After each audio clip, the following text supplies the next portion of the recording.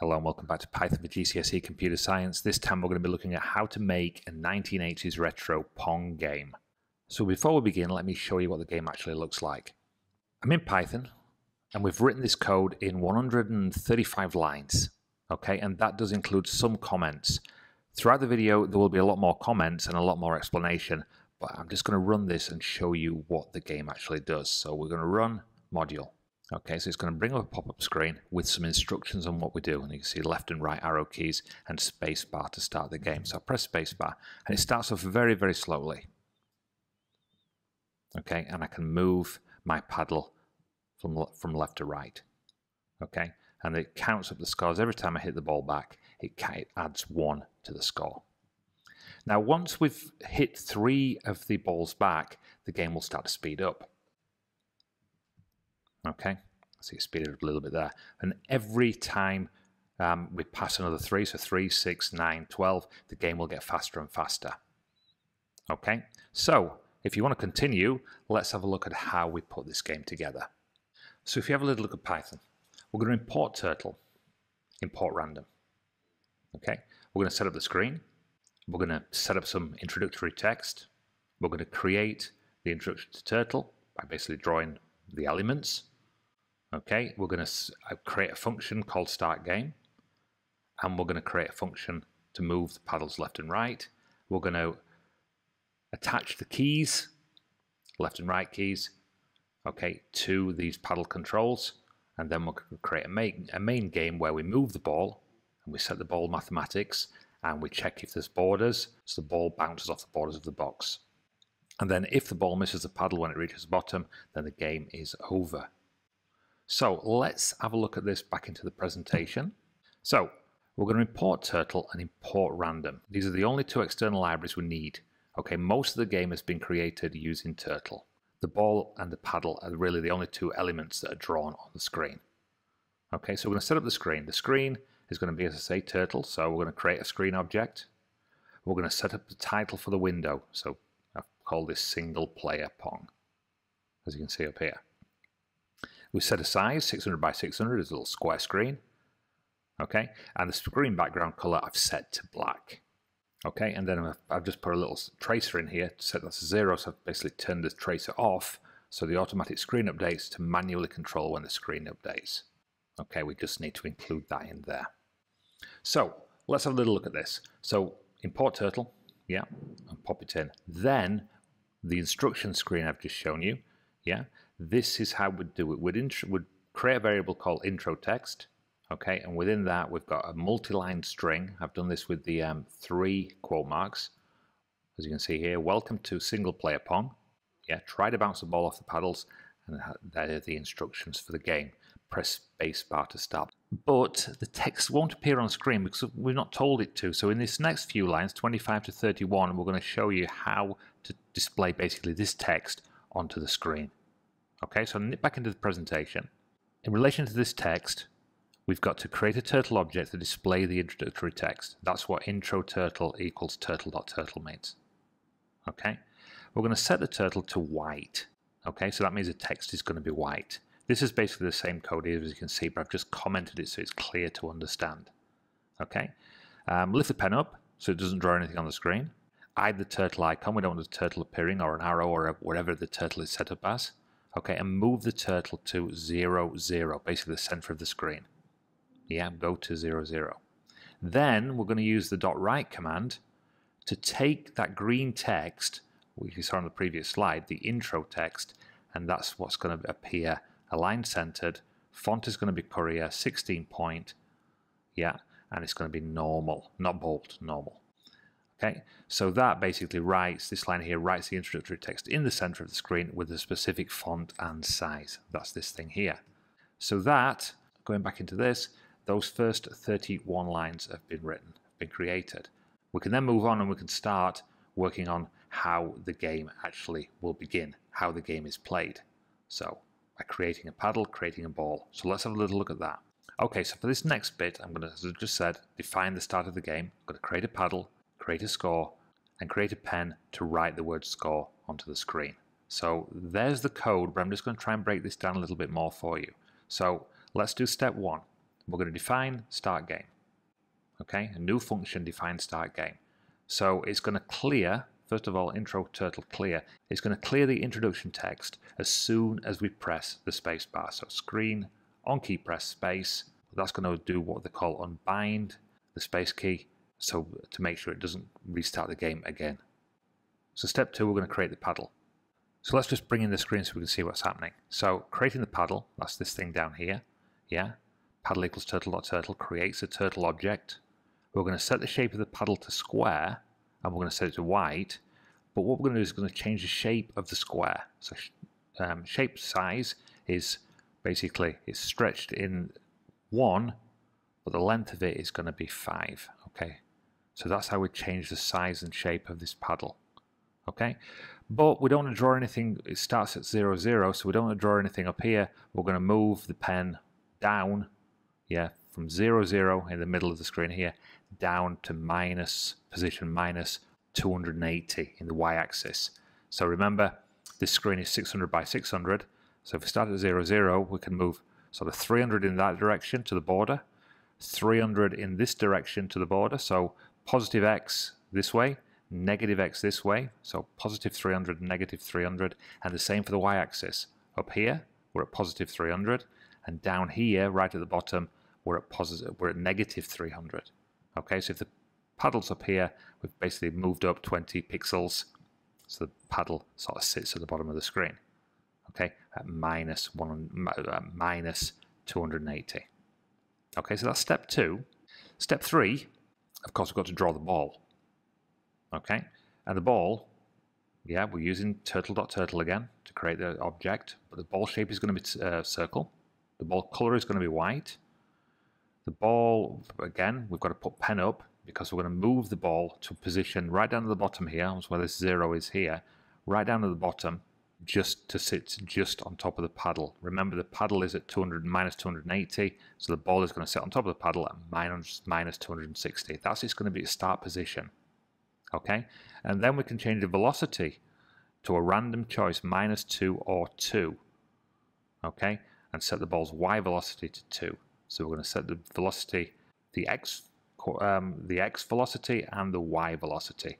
Okay, and then we've got to set the score. Score equals 0 up here. Okay, so it's going to start on 0. Now step 5, we're going to use the pen to basically write this out. Yeah, to write this out here. So pen speed is 0, so pen speed is its fastest, pen color is white, pen up, yeah, hide the turtle, pen goes to the top plus 260, yeah, in the y-axis, 0 in the x-axis, place a pen to the top center of the screen, and then write the variable score, okay, align it center, font courier, size 24, normal, and this will write in this score up at the top of the screen. Okay, so just to show you this in Python, we are now at line 68. We've just completed the first 66 lines of code. Okay, so next step, let's have a look at how we're going to control the paddle and move it from left to right. So game controller. I'm defining two functions here, move left function and move right function. Okay, we've got a strange sort of x coordinate thing going on here. So get the current x coordinate of the paddle. Okay, subtract minus, subtract, subtract 30 from the x coordinate to move the paddle left if the x coordinate is less than minus 280, the paddle's coordinate is less than minus 280 left edge, set it to minus 280, okay, and set the paddle's x, yeah, update the paddle's x coordinate to the new value. So to basically move from the center from 0 to 280 over to the left. Now pressing the um, the right key, okay, it's exactly the same, but we're going to go in the um, in the in sort of the positive direction. Yeah, as you can see here, positive 280, positive 280. Okay, that's how we would do that. Now, of course, we've got to join the keys, the keyboard keys, to these instructions.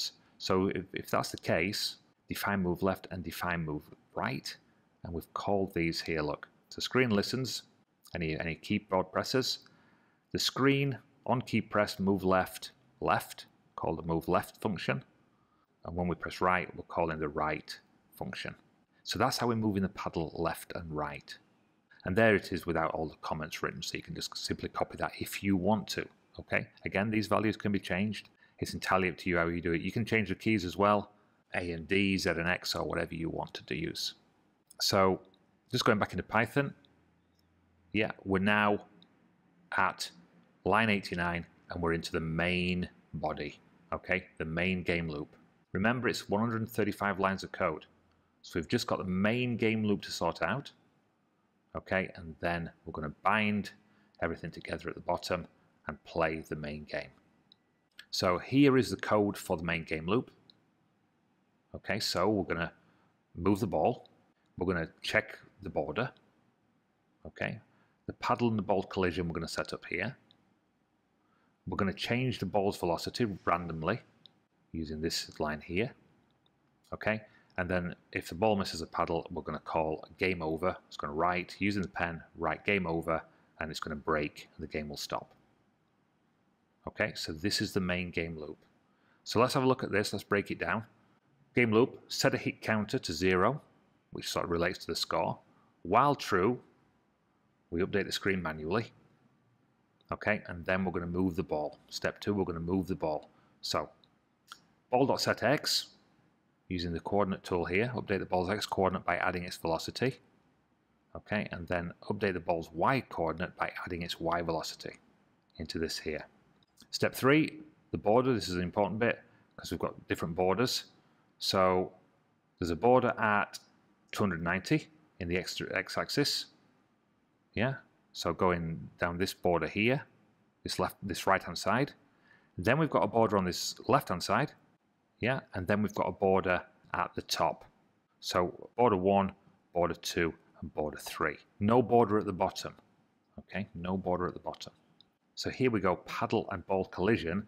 If the ball and the y coordinate gets past, is greater than minus 170, right down at the bottom, and the paddle's x coordinate minus 50. So let's have a look. If the ball is at the same level as the paddle, within the paddle's width, set the ball's y coordinate to just above the paddle.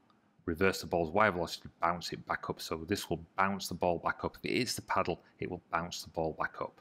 Yeah? And again, a random choice as to how fast and which direction the ball is going to go in. And in terms of scoring, we increase the score by one, but, and this is what I was talking about before, this is where we can increase. So every three hits, every time we hit the ball three times, yeah, every three hits, it's going to increase the ball's velocity by 50%. Okay, as you can see here. So it's going to speed up, it's going to double in speed and get faster and faster and faster.